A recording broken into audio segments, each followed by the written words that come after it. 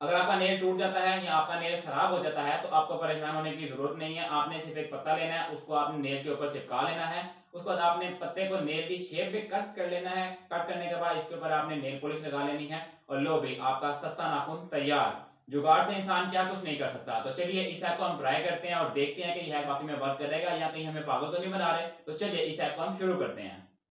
अब इस ऐप को ट्राई करने के लिए मुझे चाहिए जी पत्ते। ये आ गई जी हमारे पास पत्ते।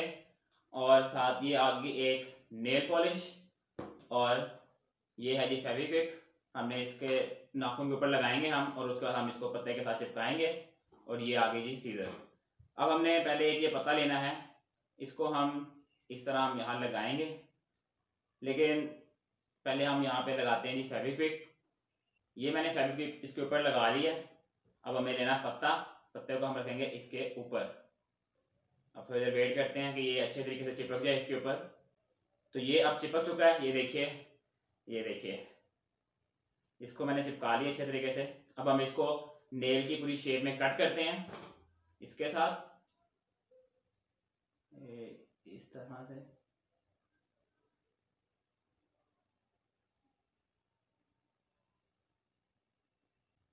तो भाई ये देखे, ये कैसा कट हुआ है। मतलब सही तरीके से कट नहीं हुआ।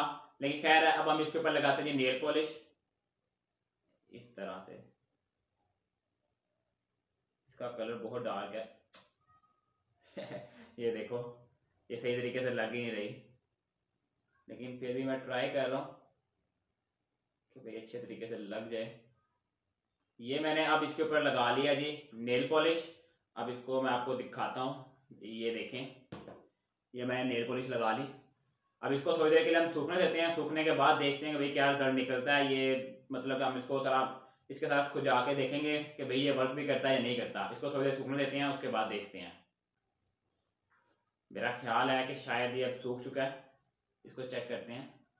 हाँ ये सूख चुका है। ये देखिए मेरे हाथ में नहीं लग रही नेल पॉलिश तो उसका मतलब है कि भाई ये सूख चुका है। अब देखते हैं कि भाई ये काम कर रहा है या नहीं कर रहा। अब ये नेल तो एक तरह से बन गया मेरा, ये देखें। अब इसको हम टेस्ट करते हैं। नहीं। मतलब कि ये इतना सही तरीके से हो नहीं रहा। मतलब कि ख़राब है। ये देखिए।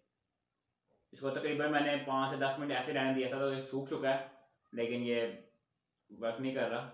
और ये लो। उतरना भी शुरू हो गया। ये लो भाई। ये उतर भी गया।